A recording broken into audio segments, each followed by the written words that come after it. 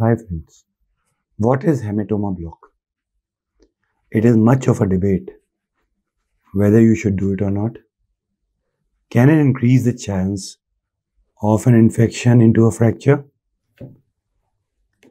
It's usually used for the distal radius fractures, one of the commonest fractures in elderly, fresh fractures.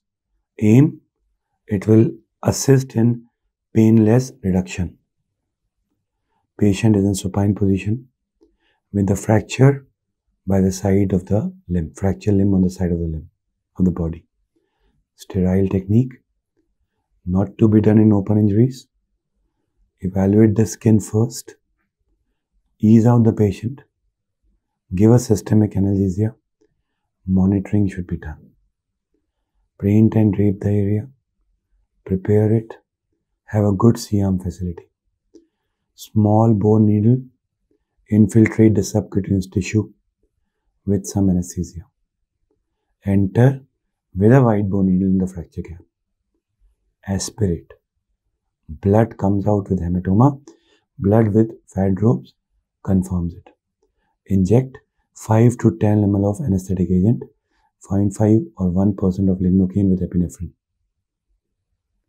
It can be easier with a large bore needle once you have injected that area with a smaller bore. During the block, the patient can be anxious, muscle spasms can be common. Give decent time to adapt to the situation. Inform the patient all the steps small bore needle, large bore needle, aim of reduction, C arm, OT draping.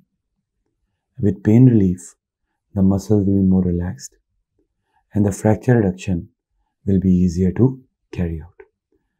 There might be teachers of old school thought who might not agree with hematoma blocks, but yes, there are areas and the literature that talks about it. The hematoma block.